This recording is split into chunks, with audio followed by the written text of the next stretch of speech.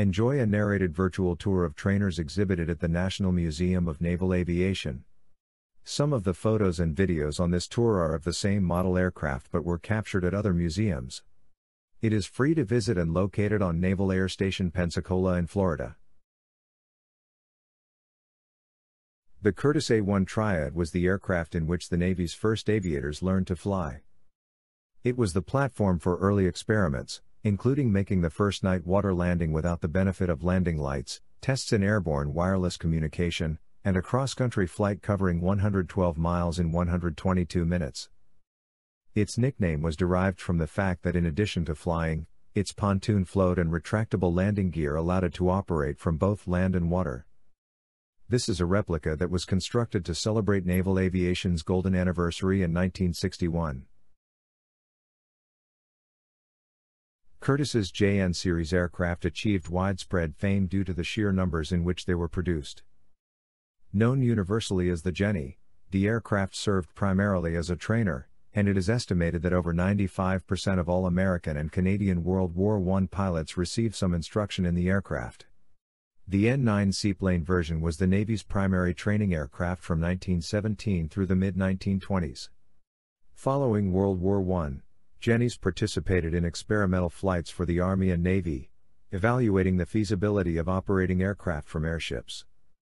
However, it was in the hands of barnstormers and pilots of the fledgling airmail service that the aircraft became most famous, exposing thousands of Americans to aviation. The Thomas Morse S-5 seaplane, known to a generation of pilots as the Tommy, was used as a primary trainer in limited numbers by the Navy during the Great War. They flew mainly from Dinner Key near Miami, and water had to be emptied from their ungainly wooden floats after each flight. Though the trusty Tommy disappeared from military airfields in the years following World War I, it remained in the public eye on the big screen, flying combat sequences in such Hollywood war movies as Hell's Angels and Dawn Patrol. The Curtiss N-2C fledglings spent most of their service lives as primary trainers assigned to Naval Reserve training bases throughout the country. The pilot and instructor sat in tandem open cockpits, and the fixed tailskid undercarriage could be easily swapped for a large central pontoon and outrigger floats under the wings for seaplane training. Six specially equipped Consolidated Model 14 Husky Juniors two-seat trainers were purchased by the Navy in 1930 and assigned to the rigid airships Los Angeles and Akron as N2Ys. Rigged with skyhooks, the trainers were used to familiarize pilots with in-flight launching and recovery from the huge airship's trapeze gear, preparing them for flying from rigid airship aircraft carriers. After training in the Husky Juniors, Fixed wing pilots assigned to duty with the airships flew the small Curtiss F 9C fighter from the airship's large hangars. Rapid advances in shipboard operations, vulnerability in weather, and questionable survivability of the airship in war resulted in the airships being dropped in favor of more promising opportunities. In 1930, the Navy purchased six new Standard Aircraft Company's D 29 trainers after they had been configured to Navy specifications, designating them NT 1. Originally configured with a single cockpit, with student and instructor in tandem, high drag and pilot discomfort dictated reconfiguration to the more common two cockpit arrangement. They served for a comparatively short time with the last NT 1 retiring in 1937. Between 1940 and 1941, the number of aviators trained by the Navy increased from 708 to 3,112, launching a wartime expansion that would produce nearly 65,000 pilots by the end of 1945. The commercial Ryan ST-3 was one of the aircraft chosen by the Navy to meet the increased training demands, designating them NR-1 recruits. Up to that time, most military trainers were biplanes, while the recruit was a monoplane with a top speed of 115 miles per hour. One of the most produced biplanes in history, the Stearman N2S Kaydet served as the nation's foremost primary trainer during World War II. Though nicknamed the Kaydet, the airplane was more commonly called the Stearman after its manufacturer. Former President George H.W. Bush made two flights in this particular aircraft during his World War II flight training. By the beginning of World War II, Both the Army and Navy operated standardized versions of the Kaydet with interchangeable parts, unique in an era when joint operations were far from standard. This airplane finished the war with 2,860 flight hours. Called Yellow Peril because of its color scheme and principle used by inexperienced flight students, the Naval Aircraft Factory's N3N primary trainer was extremely rugged and easy to maintain. Acquired in much smaller numbers than the N2S, it saw service as a primary trainer from the late 30s to the mid 40s, configured as both wheeled and float planes. It was reliable and embodied the ruggedness that had been demanded of it, both characteristics that earned the respect of the thousands of naval aviators who received their first taste of flying in the N3N. Where it became perilous was in taxiing. Poor visibility from the cockpit combined with inadequate brakes and an ineffective rudder led to more than a few ground loops. Float configured N3Ns were later used for midshipman indoctrination flights at the U.S. Naval Academy until their retirement in 1961, the last biplane ever used in military service.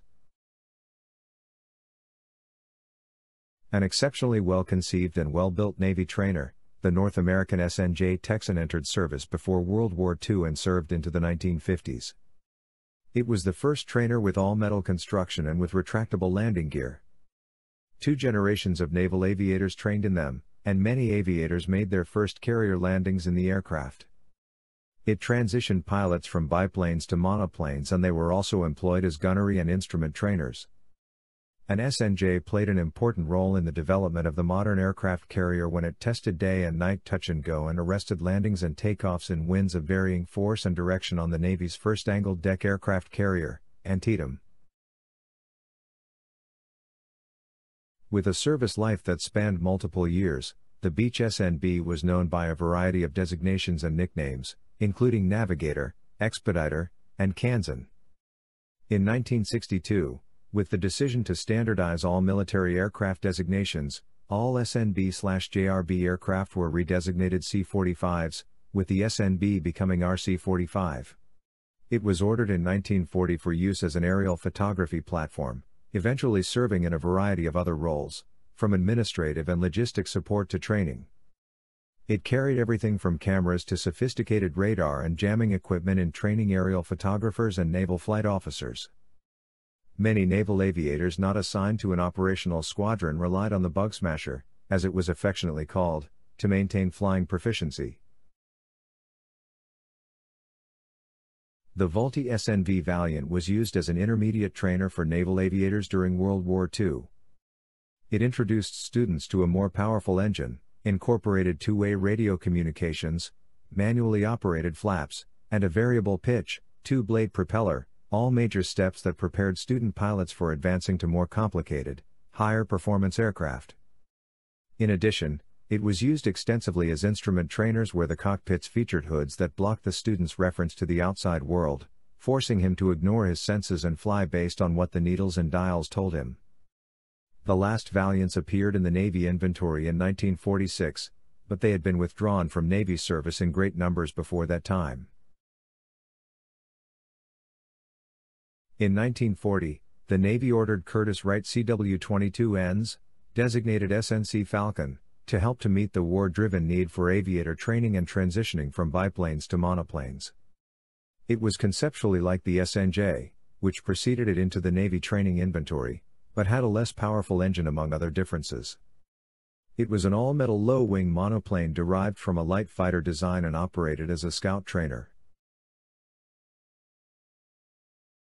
Timm Aircraft introduced a two-seat primary training monoplane built entirely of aeromold, a plastic bonded plywood. This construction material was attractive to the military due to the high demand for aluminum in combat aircraft. They ordered them for use in formation flying training, designating them N2T1. They saw limited service, being declared surplus in late 1944. North American's T-28 Trojan was introduced in the 1950s and served into the 80s in the Naval Air Training Command. It had the look, feel, sound, and power of early World War II fighters, something the Navy desired when it entered training service in the mid century. Powerful but predictable, the aircraft was an ideal trainer, although it was not pressurized and lacked ejection seats. Students found the Trojan sturdy and roomy, with great visibility, responsive and docile, and fully aerobatic. It could be safely spun from relatively low altitudes and counted on for a nearly instantaneous recovery. North American's TV-2 Shooting Stars trained the Navy's first generation of jet pilots and supported missile testing as control aircraft and target drones. Though successful as a land-based trainer, the TV-2 was not satisfactory for carrier operations. They remained in service into the 1980s as utility aircraft and proficiency trainers. During World War II, the U.S. Navy and Army Air Forces operated common training aircraft, and the practice continued into the 1950s when the Navy and the recently created U.S. Air Force both chose the Beech Model 45 as a primary trainer. This early version of the T 34 Mentor became operational during the 1950s and was used by the Navy for over 20 years. In April 1975, the Navy ordered an improved version of the aircraft that featured a 400 horsepower turboprop. In 2002, the Navy began a gradual withdrawal of the Mentor, replacing it with the T-6A Texan II, a joint primary trainer for use by both the Navy and Air Force. Grumman's TC-4 Academe, introduced in 1967, trained bombardiers, navigators and pilots for operations in the A-6 Intruder. Academes included an intruder nose radome, a simulated intruder cockpit and four consoles for intruder crew training. Four simulated bombing missions were flown at one time, saving wear and tear on the intruders. The Northrop T 38 Talon is a twin engine supersonic jet trainer used by the Navy for its Naval Test Pilot School. They act as opposing aircraft in military war games, using enemy tactics, techniques, and procedures to give a realistic simulation of air combat. The North American T 2 Buckeye trainer drew from proven, existing technologies, its wings derived from the FJ-1 Fury and its control system in line with that of the propeller-driven T-28 Trojan training aircraft. Being a multi-purpose trainer, the Buckeye incorporated under-wing hardpoints for weapons training and arresting gear for carrier qualification. The Buckeye's final carrier qualification flights occurred in 2003. Douglas's TA-4J started as a training version for the A-4 Skyhawk. They were such good trainers that the Navy adopted them for all their advanced jet fighter and attack pilot training. I hope you enjoyed this narrated virtual tour of the National Naval Aviation Museum's trainers. If you would like to tour other aircraft in this series, you will find convenient links in the description section below this video. Here are YouTube suggested links on a similar topic that you may enjoy viewing.